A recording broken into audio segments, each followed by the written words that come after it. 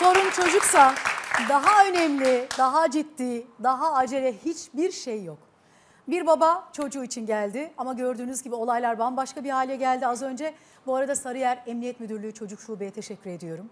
Sağ olsunlar yayınımız ihbar kabul edildi. Şu anda Emniyet Müdürlüğü'ne doğru yola çıktı ailemiz ve Artık 8 yaşındaki bir çocuğu o banyoya niye soktu? Anne bunu nasıl açıklayacak? Baba ne söyleyecek? Ben de merak ediyorum. Çocuğun da ifadesine başvuracaklar bu arada. Çocuğu da almaya geliyorlar. Bakalım küçücük bir çocuk. Ama böyle şeylerle muhatap olması bile ne kadar acı ama bu annenin suçu. Annenin suçu. Aslan Bey'in de ifadesine başvurulacak bu arada. Hatta eğer uzman görüş isterlerse Aslan'ım çok güzel özetledi, kendisi konuştu.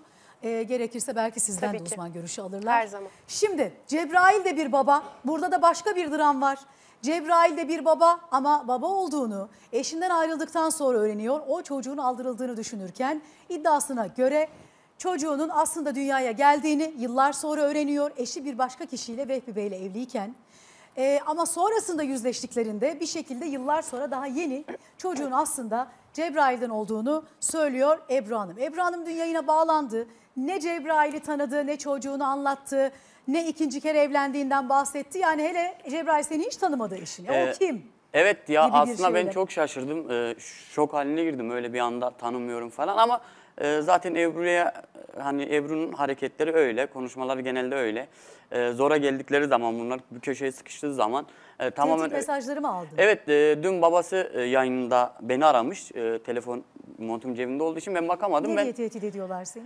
ee, şey e, namusumla oynama e, bedeli çok ağır olur. Yüz yüze konuşalım. E, şöyle bir şey var ben size şunu söyleyeyim. Ben sizin tehditlerinizle buradan bir geri adım atmam. Bunun ö- ucunda ölüm dahil bile olsa ben buradan bir adım geri atmam. Çocuğumu da bırakmam. Şöyle söyleyeyim. Abla onların e, madem benimle yüzleşmek istiyorlarsa ben sizin yanınıza geldim. Bana ses oldunuz. Aynen. Size çok teşekkür ederim. Gel, Allah razı olsun. Onları da bekliyorum burada. Gelsinler, yüzleşelim. Neyse bu e, sorumlu kimse devlet e, tarafından vesaire e, herkesin bedeli yani Çözeriz, çözeriz evvelallah Evet, Cebrail. e, Sonuçta buradayız. Kendisini de buraya beklediğimizi söyledik. Ekibimiz de şimdi Ebru'nun yanında. Aslında konuşursa onun da mutlaka söyleyecek şeyleri vardır. Onları da merak e, ediyorum ve bekliyorum. Şu an bizi izliyor. Ben bir şey söylemek istiyorum abla. Ebru benim çocuğum Vehbi'nin yanında ne işi var? Sen 4-5 aydır Vehbi ile ayrısın. Ve benim çocuğum Vehbi'nin yanında ne işi var? Az önce bir video falan olay oldu. Ben onu şey yapmıyorum. Benim çocuğum o evde duş alıyor vesaire. Anadan e, doğma duştan Cebrail çıkıyor. çocuğun kaç yaşında? Çocuğum 7 yaşına girecek Şu abla. an üvey babasıyla beraber mi? Evet. Annesi nerede? Annesi kendi evinde şöyle söyleyeyim ben Vehbi ile de bu konuyu konuştum. Vehbi cezaevinde çıktığında 16-17 bin liralık alışveriş yapıyor eve götürüyor. Ee, çocuklar Ebru'nun yanında olduğu için. Vehbi'nin, Vehbi'nin Onun da bana... iki çocuğu var. Evet, evet. Ebru Vehbi'nin- Hanım'ın. evet, bana Bir de senin söyledi. çocuğun var. Evet. Çocukları var evde. Evet Vehbi'nin bana söyledikleri bu abla. Ebru tekrardan çocuklar at, e, Vehbi'nin üzerine atıyor geri eve gidiyor abla. Vehbi yani o kadar dedi ben alışveriş yaptım o da Ebru'ya kaldı. Çocuklar almıyor yanına bakmıyor da dedi abla. Çocuklarına bakmıyor. Bakmıyormuş abla. yani Vehbi'nin Vehbi'den bana olan söylediği çocuk, bu. ikinci eşinden olan çocuklara da. Evet ya üstüne İddiası atıyor öyle. abla. Evet evet. Ee, şöyle bir şey Şu anda Vehbi Bey nerede? Ee, Ankara'da kendisi. Yani Vehbi Bey'e de ulaşalım. Ee, Sonuçta o da şimdi o da hem Cebrail'in çocuğuna bakıyor, kendi iki çocuğuna bakıyor. E, Ebru, ha Vehbi Bey bu mudur? Evet evet. Kucağındaki Vehbi Bey. çocuk? Ee, o galiba 2018'de doğmuş bir çocuk. Kendi Ee, evlatları. Bilmiyorum. Ee, şu e, şey isim şeyine de dokunmak istiyorum. Abla evet benim çocuğumun adı Sana Akça. niye adını yanlış söylemişler bu arada? Ee, şunu da söyleyeyim ben kız bana soy, e, söyledi Ankara'dayken ilk gittiğim zaman bizim soyadımız ne dedi. Ben dedim bizim soyadımız Kaya. Ve Kim bunu söyleyen sana Ee, benim sonra? kızım. Sen kızınla ne zaman görüştün? Ee, Ankara'da işte Ağustos ayında evet Ağustos'un ya 25 İlk 26 görüşmen mi? Evet evet ilk görüşmem o. Ee, çocuk kendisi bana söyledi. Bizim o soyadımız ne? fotoğrafı da belki verebiliriz. Blurladık zaten. Ee, evet kızını. ben verdim verebilirsiniz Senin size verdim. peki. Evet. Ee, Ben izin veriyorum size verdiğim şeyleri yayınlayabilirsiniz burada. Şöyle söylüyorum abla. Ben çocuğuma hani ayrım olduğunu düşünüyorum. Niye diye? Şimdi 6,5-7 yaşındaki bir çocuk kalkıp size bunu demez. İşte benim bir tane ayakkabım tek var, benim başka ayakkabım yok. Alışveriş merkezinde o çocuk oturup orada ağlamaz. Niye ağladı? Ba- Ayakkabı e, şöyle söyleyeyim biz alışverişe ben e, e, çocuğu götürdüm. Kışlık mont vesaire dedim hani içimden koptuğu için. Hatta Vehbi dedi ki sen dedi bunları yapıyorsun ama boşuna yapıyorsun. Ben dedim ki ben bunları yapıyorsam e, boşuna da yapmıyorum. Hani kızım da değilse ben amcasıyım dedim. Benden dedim ona Bir hediye. dakika anlamadım. Niye amcası oluyorsun? Ya Senin hani o kızın öyle diyor değil. ya siz bu alışverişe ben çocuğa mont falan aldım. Sen bunları boşuna alıyorsun dedi. Hani Neden? senin kızın değil.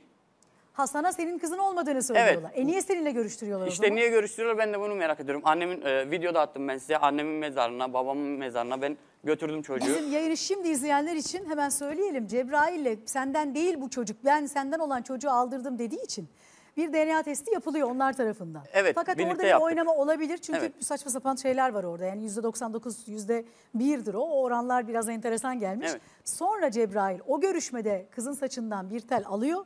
Kopan saçından o teli götürüyor. Aslanım bir su getirin lütfen. Dur. Güzel güzel konuştu nazar değdi benim kuzuma. Şimdi o saç teliyle tekrar DNA testi yaptırıyor. Kendi yaptırdığı DNA testinde Evet e, getirdim size. %99 Evet, getirdim. getirdi. Evet. %99 orada senin çocuğun olduğu belli. Evet. Ama onlar yine de bu senin çocuğun değil diyorlar. Evet, öyle Ama diyorlar. sana gösteriyorlar. O da Evet ama enteresan. gösteriyorlar. Mesela ben Ankara'ya gittiğimde annemi defnetmeye götürdüğümüzde daha bir ay Allah oldu. Ee, ben aradım hani dedim annemle görüştürmediniz. Ben bunu daha Ebru'yla Torununu göremeden vefat etti değil Bir mi? kere gördü abla o da ben götürdüm.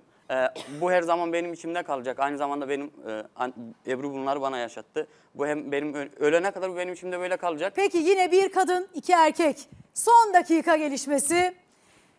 Ebru'nun ikinci eşi yani şu anda e, çocuklarının, üç çocuğu orada, iki çocuğunun babası.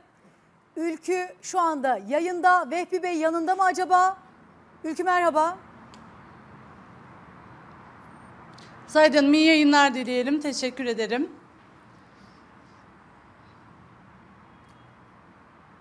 Ülkü sen neredesin? Yanında kim vardı? Kiminle konuştun? Ebru Hanım yanında mı? Zahide Hanım bizler Ebru Hanım'la iletişime geçtik. Sabahın erken saatlerinden itibaren aslında ekibimizle sahadaydık ve kendisiyle e, kendisini çok zor bir şekilde ikna ederek bir iletişim iletişim kurma şansımız oldu. Kendisi şu yönde bir bilgi verdi bize. E, ben Cebrail'le tanıştığımda 2014 senesinde bir hamilelik yaşadım. Cebrail'in babası benim dediği kızdan bahsederken de 2018 yılında dünyaya geldiğini ve arada 4 yıllık bir zaman farkı olduğunu söyledi. Aynı zamanda Cebrail. Bey'in tanıştığı Hayır. süreçte Ee, kendisini pek çok kez pek çok kez tehdit ettiğini ve silahla ailesinin kapısına dahi dayandığını söyledi. Bu noktada da pek çok sıkıntı yaşadıklarını belirtti. Benim kızımın babası dedi, ikinci eşimdir dedi ve her türlü DNA testine de ben açığım dedi Zayda Hanım. Peki teşekkür ediyorum Ülkü. Cebrail niye bu yılda bir oynama var? Ee, şöyle söyleyeyim abla 2014'te e, ben askerden yeni gelmiştim. Ebru dahil tanımıyordum. Ee, şöyle söyleyeyim ben Kızılay'da çalışıyordum o zamanlar. Çalıştığım arkadaşlarım da var. Şöyle söyleyeyim kuaför olduğumu Ya o zaman bir söylemiştim. hamilelik, bir tanışma vesaire Hayır, olamaz. hayır, hayır, hayır. Ben Ebru'yu sadece 2016 yılında tanıdım. Yalan söylüyor. Yani iki sene önceye mi Evet. gidiyor? Bir şey rica edebilir miyim? Ebru benim evime geldi. Bizim yöneticimiz bizi izliyormuş. Bina yöneticimiz. Dün akşam binanın girişinde biz Konuştunuz mu? karşılaştık. Evet.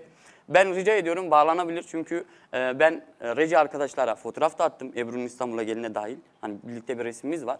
Ben onu reji arkadaşlara attım. Onu da şey yapabiliriz mesela e, gösterebilirler size. Şöyle Yani söyleyeyim. Ebru'nun sana geldiğinin delili var. Var var abla var. E, zaten Çocuğun senin olduğunun delili de yaptığın DNA testiyle var. Evet. Ee, şöyle bir şey var ben şunu söyleyeyim size. Ee, ben reji arkadaşlara da attım. Ebru'nun telefonu yatağın üstünde. Ben kendi telefonumla onun ekran fotoğrafının resmini aldım. Tarihine e, kadar her şey yazıyor yani. Benim kendi evimdeki Ebru'nun telefonu o zaman. Ebru gelmediyse telefonu nasıl geldi? Peki sıkıntı yok ama şöyle bir şey. Cebrail sen ne istiyorsun? Abla ben şunu istiyorum. Ben çocuğumu istiyorum.